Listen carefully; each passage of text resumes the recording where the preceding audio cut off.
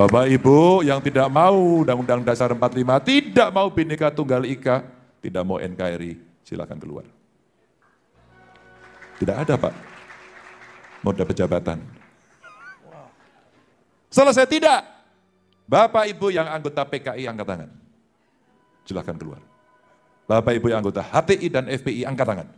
Nah, saya tahu apa yang ada di hati saudara.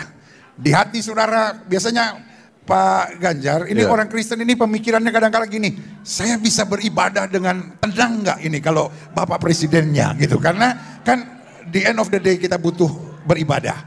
Nah, sebagian pasti otak saudara udah mulai kotor. Ah, Pak Ganjar ini kan tidak setuju dengan Israel. Saudaraku yang kasih dalam Tuhan, ini bukan soal Israel, ini bukan soal Palestina, ini soal Indonesia. Amin. Urusan itu nanti saudara-saudara. Urus Indonesia aja belum tentu beres saudara-saudara ya kan.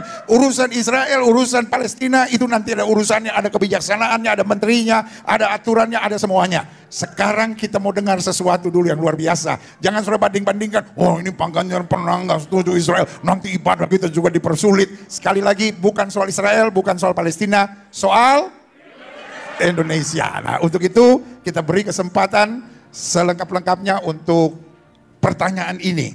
Bagaimana umat Kristen kira-kira bisa beribadah nggak jika Bapak memimpin 2024 ini?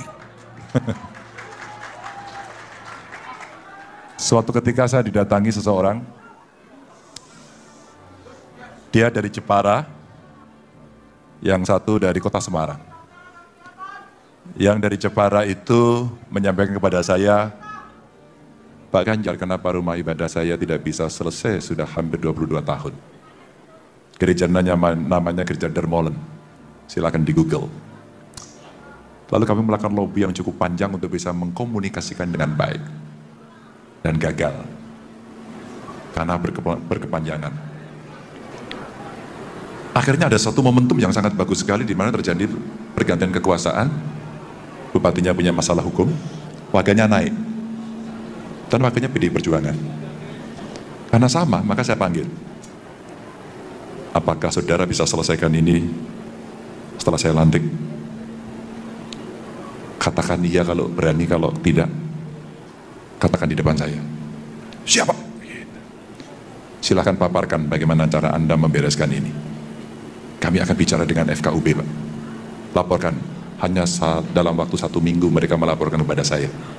Dan yang luar biasa, begitu dirembuk, tidak ada satupun yang mengatakan menolak. Tidak ada satupun. Dengan terharu saya sampaikan, kenapa setelah sekian puluh tahun tidak bisa selesai? Kenapa harus rakyat marah dulu? Kenapa kemudian dari kawan-kawan semuanya tidak bisa merespon dengan cepat? Bapak Ibu teman-teman, yang luar biasa adalah Pak, kita sudah bersepakat, kita berembuk bersama-sama, kita setuju, dan kita tunjuk juru bicaranya dari ketua FKI, FKUP yang NU. Apa yang terjadi? Begitu saya lantik, besok pagi disahkan, besok pagi dibangun, tidak ada lagi cerita rame-rame, dan mereka beribadah dengan tenang.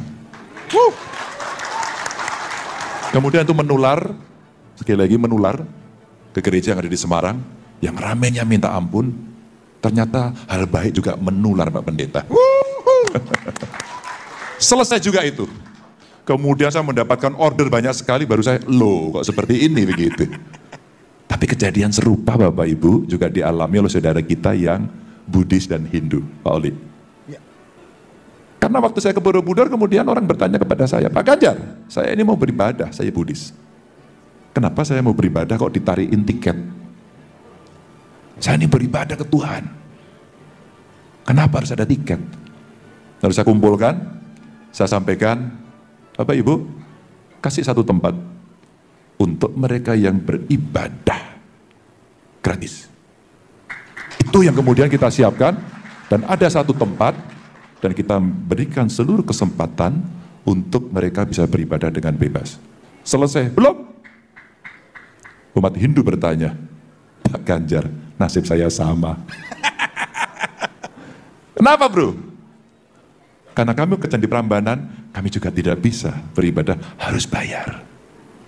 Oke, saya bicara dengan seluruh pengelolanya, Akhirnya dibuatkan satu tempat yang agak sedikit lebar, dibuatkan semacam rumah kecil untuk menaruh uh, patung Hindu.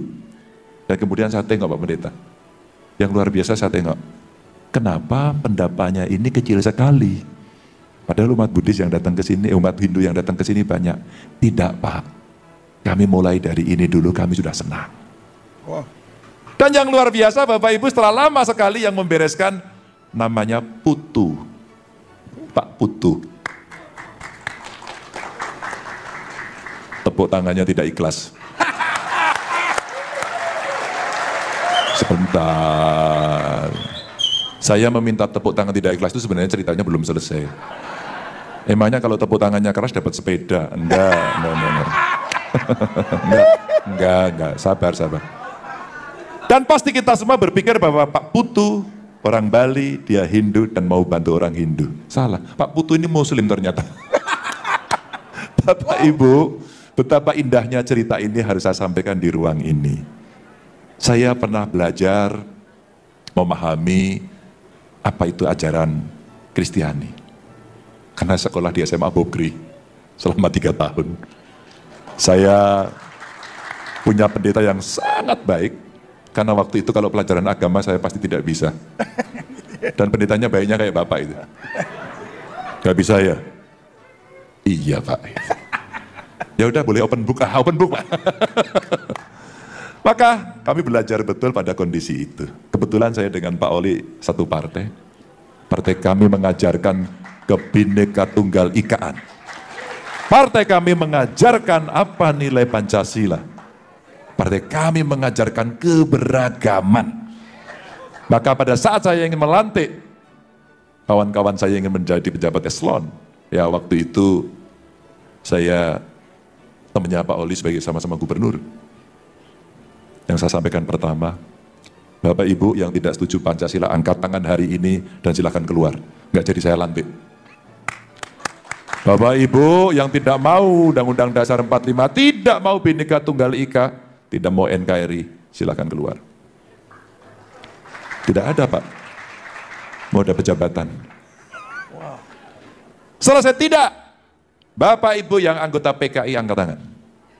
Silakan keluar. Bapak Ibu yang anggota HTI dan FPI angkat tangan. Silakan keluar. Kenapa? Karena inilah organisasi yang pemerintah melarang. Kita fair. Tapi tidak selesai, Pak Gilbert. Saya harus bicara dengan mereka untuk lebih tahu apa sebenarnya yang terjadi. Tapi jangan salah. Saya ini sekarang sedang membina ex napi teroris. Sudah tobat, sudah dihukum, sudah keluar, dan dia saya minta untuk menjadi juru bicara pemerintah. Agar di antara kita tidak salah. Begitulah cara kita ber-Indonesia. Maka kalau bicaranya kebebasan beribadah, itu bukan cerita SKB. Ini cerita konstitusi yang melindungi paling tinggi di republik ini.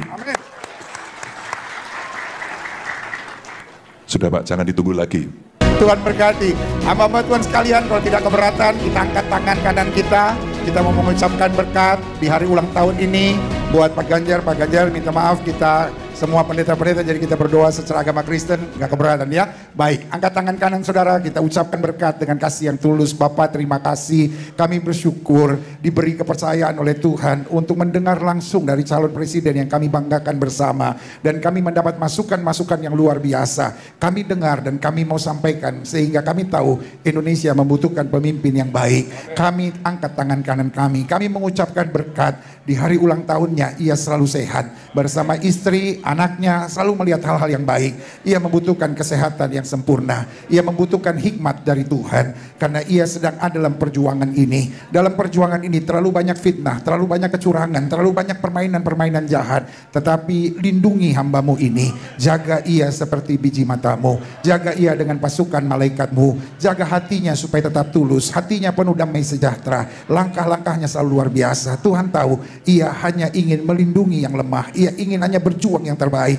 Ia rindu Indonesia ada di kancah dunia sebagai negara yang dihormati dan diakui. Karena itu toh Tuhan tolong perjuangannya ini. Kami semua mengucapkan berkat di dalam nama Bapa, Anak dan Roh Kudus yaitu di dalam nama Tuhan Yesus Kristus sehingga ia selalu berhasil, ia selalu diberkati, ia panjang umur, damai sejahtera dan penuh dengan berkat Tuhan. Dan kami mengucapkan berkat ini di dalam nama Yesus dengan percaya bahwa harinya akan tiba. Sekarang kami mendoakan beliau dan tanggal 14 Februari akan ada pemilu dan selanjutnya ia akan dilantik menjadi presiden. Di dalam nama Yesus kami berdoa. Sama-sama kita yang percaya katakan amin. Sekali lagi diberkati. Baik, kita foto bersama. Lalu setelah itu dengan berat hati kita izinkan